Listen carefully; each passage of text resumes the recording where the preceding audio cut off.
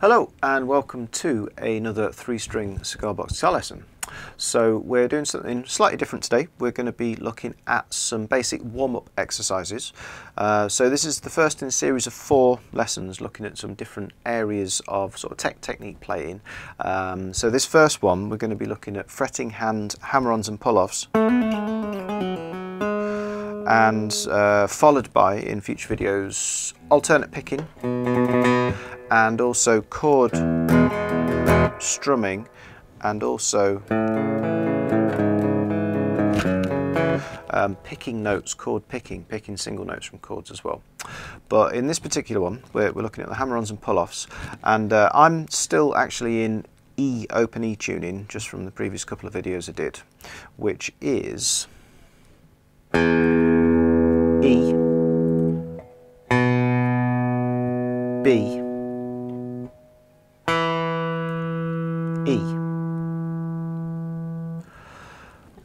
You, you can play these just in any, any tuning as long as it's like a sort of relative power chord tuning basically because that, as I always say, it forms an open string power chord. Uh, but the standard one we, we're often in is GDG so these will also work fine in that or you can even go for the lower pitched DAD that we've done in some recent videos as well. And um, for, for all four lessons there's uh, a PDF on the website which uh, covers all, all of the exercises. Uh, it's available for download, so uh, if you're interested in checking it out, it's quite quite helpful to accompany all of these videos. So uh, you can go through the website, follow that link. Uh, much appreciated, helps support the channel.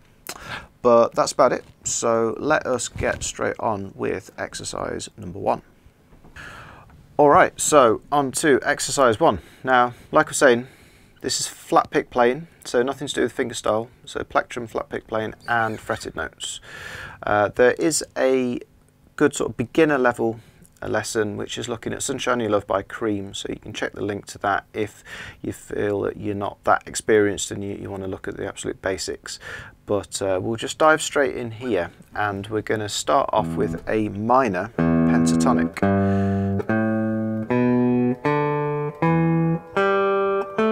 sort of carries on like that.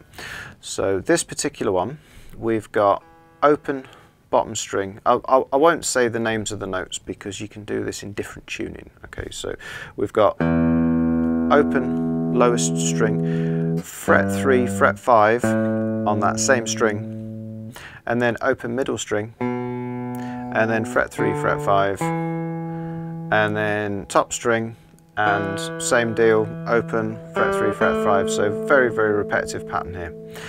And what we're doing is we're going to be hammering on, going up, so that's from low to high, and then pulling off high to low. And I'm, I'm going to be using uh, fingers 1 and 3 entirely for this one. 1 and 3 work really well so index and ring finger, they work really well for sort of bluesy, you know, rocky type riffs, that type of thing. So I'm going to pluck the open string and tap on to fret 3. And then I'm going to pluck fret 3 and tap on to fret 5. Now, I'll, I'll cover the picking and what have you in a minute, but to start with, we've just got open hammer on, and then fret 3, fret 5 hammer on. And then you just do the same thing on the next two strings. So open, fret 3 hammer on, 3 to 5 hammer on, and then open, 3 to 5.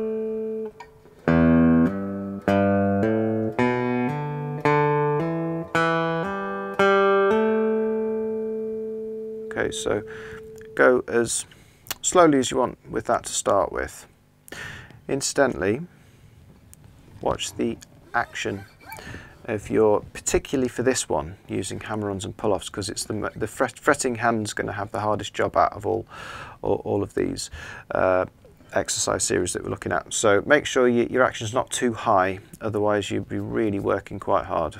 Okay. Um, now, when you're playing riffs, and this is definitely riffs because it's based around a scale, it's quite good if you rest somewhere close to your bridge. Don't sort of be like this because you, you want to be picking using that sort of motion. So it's like a straight up and down motion as opposed to like twisting from your wrist, okay? So anchor somewhere around there. And then just downstrokes to start with is fine.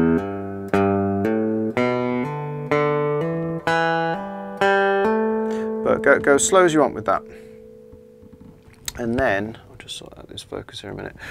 Let's try and reverse that. So this time it's going to be a flick off, a pull off. So I, am actually fretting both of these at the same time and I'm just flicking off to fret finger 1 on fret 3 from finger 3 on fret 5. And then I'm flicking off from fret 3 to the open string. And then exactly the same on the middle string, exactly the same on the bass string. Okay, so when you pull off, now I'm deliberately not making a, a, loud sound with the hammer on there. It's a pluck. When you pull off, it's a pluck. So if you're pulling off to a fretted note, this one needs to be in place just as you pull off and then so basically what you're doing is you are like flicking probably like a sort of 45 I'll do it from this angle as well 45 angle uh, degree angle so you can hear a bit of a ping a slight attack on the note uh, and then you try and do the same thing sometimes when you do it to the open string, you can be resting here, so you kind of flick slightly. trying to move your thumb, that was an exaggeration. So.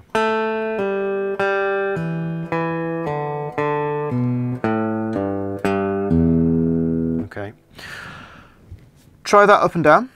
And then finally, you just want to introduce the alternate picking. So that would just be down, up for each string. So down, up, down, up, down, up. And then the old, uh, coming back down, pull off, down, up, down, up, down, up. That's probably far too fast, so I would take your time with it.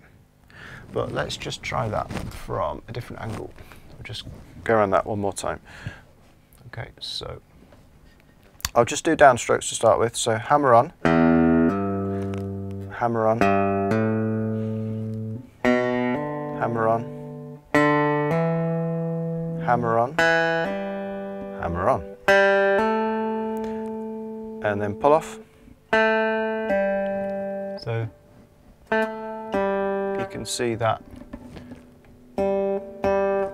So it's like a, don't pull straight downwards, pull out pull out slightly. Okay, so pull off.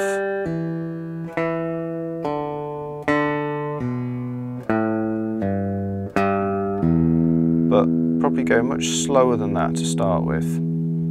When you get used to it, you, you want to try and play it in time so that little by little you can increase the speed. This is the same with all of the exercises. Go slowly, but with a regular pulse you know, so, so you're not you're not pausing for any difficult parts, uh, but you gradually increase the tempo and you know until you you're able to sort of play smoothly at faster tempos. But you're only going to get up to there if you actually sort of build it up in stages. So on the score, on, on the exercise tabs, uh, it says start at 50 BPM, increase speed gradually. Um, so if you do that either with a metronome or uh, maybe even better use a drum beat. Uh, you, can, you can find them on YouTube or you can get a smartphone app. It's quite helpful because normally your hi-hats that on the drum beat, which are the, the two cymbals sandwiched together, uh, you can you can try and match up the, the speed of those with all of your notes, which would be quite useful. But go around that and straight on to exercise two. And what we're going to be doing is a series of hammer-ons and pull-offs. And you can call a series of hammer-ons and pull-offs a trill. So I'm starting off with my first finger at fret 7 and I'm going to use finger 2 on fret 8. Now this is what we call a chromatic thing where it doesn't sound particularly musical but it's quite good to play like adjacent frets that are next door to each other with all four fingers. So you're giving them all a workout so it's a really really good warm up this. And so that's a double trill so or double hammer on and pull off and then I'm just going to do exactly the same with finger 3 on fret 3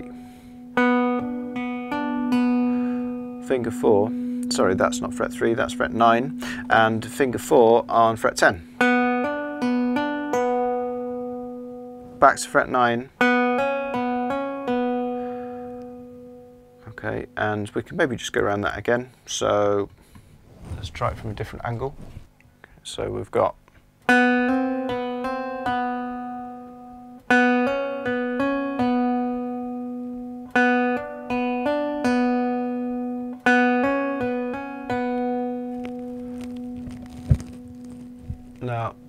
don't know if you can see exactly how flat that first finger is. So I'm not, so when you're playing chords, you're very much like fretting with the tip of your finger. But here, if you're playing single note riffs, it can be quite good to have a much flatter angle than normal. So I'm, I'm using less of the, the tip of my finger and more more round to the pad on the side and it just keeps it more solid because if you're on the tip you can be bending the string quite easily. That is much more much more solid and so when you're doing things with other fingers that doesn't move. It's a really good sort of foundation okay? Uh, but with these ones you can be sort of curled round slightly more than your first one. Find whatever's comfortable but what is important is to don't be tense. You've got to be as relaxed as possible when you're doing these. You don't want these fingers one and two to kind of be stuck together. Get some space between your knuckles and that, that means that you have to be more relaxed. If, if your hand looks like that, then it's relaxed. If it looks like this, if it looks like that, it's definitely not. Okay. And then the second half of the exercise is just kind of working different combinations of fingers. So we're going to keep fingers one and two fretted now. And I'm going to be trilling with my third finger. So that's seven and eight, and this is on fret nine. All right. And then I can even use finger four on fret 10, still, still holding these two down and then I can use keep finger three where it is. Uh, sorry, all, all, all three fingers fretted and then just trill with your little finger. It's quite difficult that. So I'll just show you that. These two fretted. And then finger four. And then three fingers fretted.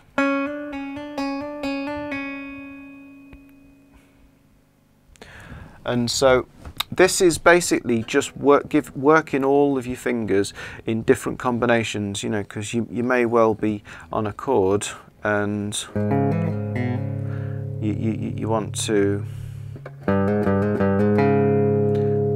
you, want to use like different combinations of fingers so that's kind of fingers two and three working against each other whereas that was almost fingers one and four working against each other. So that it's re re really good sort of like warm up and uh, keep them quite flat.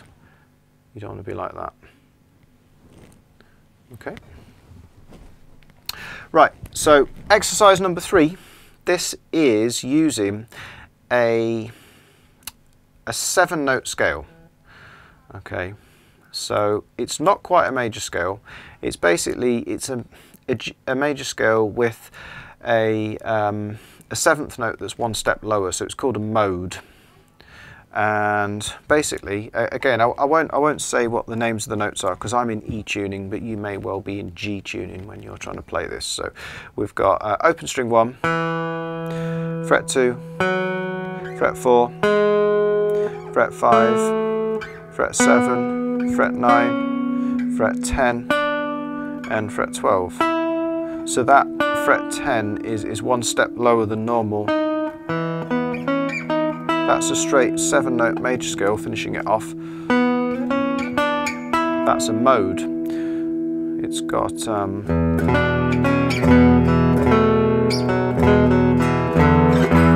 it's got a quite quite a nice sort of strong sound to it. So it's called a Mixolydian mode. Uh, might do a lesson on that at some point, but we're, we're just using this for the time being because it's got a slightly more bluesy character to it. So there's a G, and uh, sorry, that's a, a, a fretted note in the middle, a root note and so it would be two steps lower.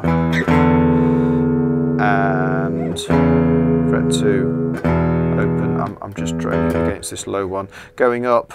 So that's 5 3 2 open. Going up. It's 5 7 9 10 12 Okay, so we're going to use all of those in combination, but like little uh, sort of position boxes, like what people would do if they, they were doing sort of faster runs in solos, that kind of thing.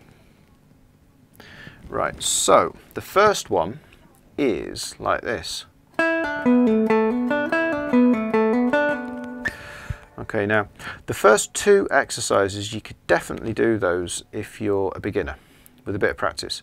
This one is possibly slightly more difficult, so if you've not been playing for that long, maybe something to aim to work towards, but don't worry if you're finding this too difficult at the minute. So frets 10 and 12, or 12 and 10, pull off, just the top two strings only, pull off, pull off on the middle string, reverse it, hammer on, fret 10 and then pull off, pull off, hammer on, 10, 12, I better do that again, two pull offs, 12, 10, middle string, 12, 10, 2, a hammer on, middle string, 10, 12, 10 on its own, then two pull offs again, and then hammer on.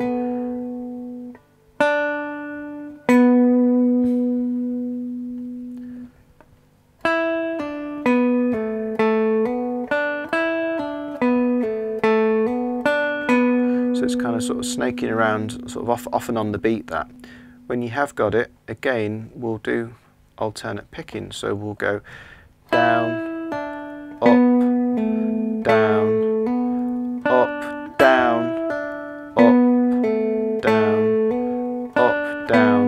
there's mm. two places where there are two picked notes that are right next to each other, so that's when the alternate really works when we go faster. Okay, so we'll just do that again. So pull off, pull off, hammer, pick, pull off, pull off,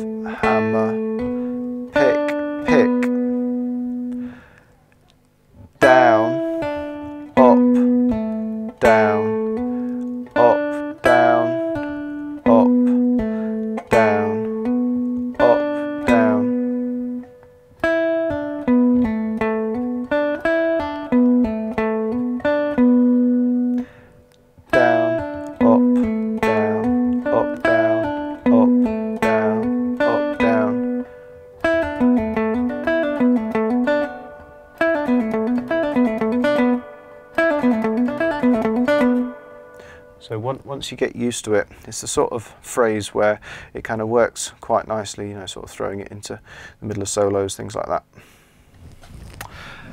And so what we're doing is we're just taking that whole pattern and we're moving it down in different sort of boxes. So the next one is 10 to 9, exactly the same pattern, pull, off, pull, off, hammer,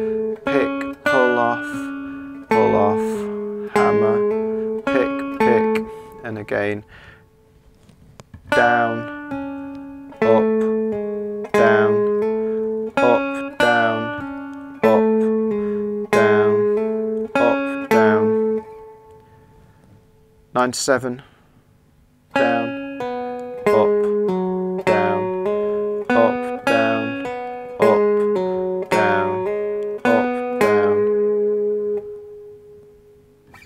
7 to 5,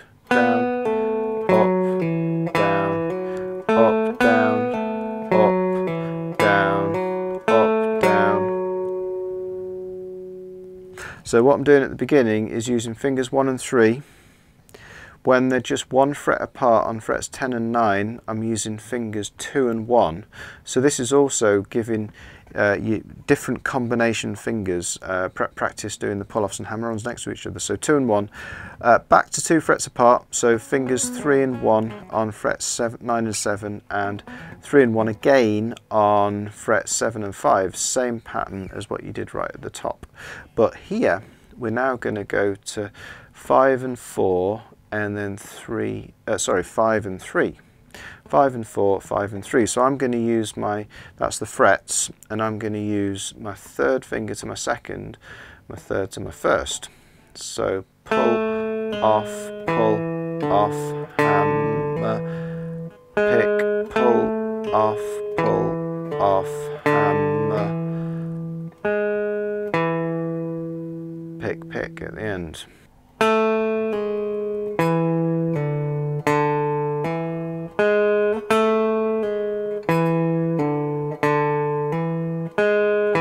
little bit more difficult. This next one's quite tough. Now again, I was talking about the, the action on your guitar, so as you get further down the neck, it's going to feel tougher to play if you've got a high action. Now this one's difficult because we're going 4, 2, that's the frets, and I'm going to use fingers 3 and 1, but then I'm going to use frets 5 and 3, and just for practice to get Get my fingers nice and nimble. I'm going to use fingers 4 and 2 here on, on the 5th and the 3rd frets. So it's pull, off, pull, off, hammer, pick, pull, off,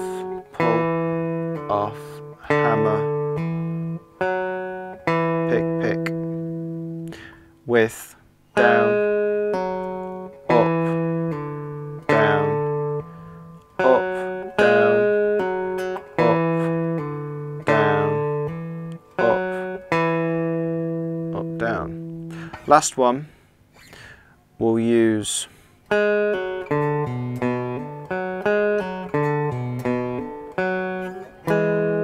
we'll, we'll use uh, frets 2 and 4 again, 4 and 2, and then 3 to the open.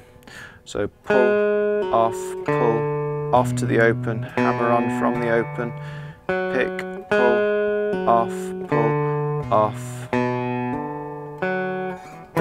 And then just to finish off, we, we can kind of form a little uh, F shape. Sorry, it's a in standard tuning in GDG that would be an F shape, which is frets three and two.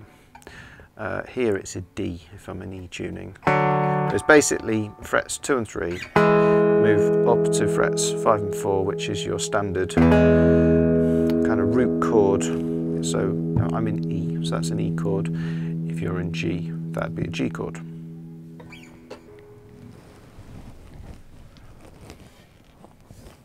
Let's do the whole lot.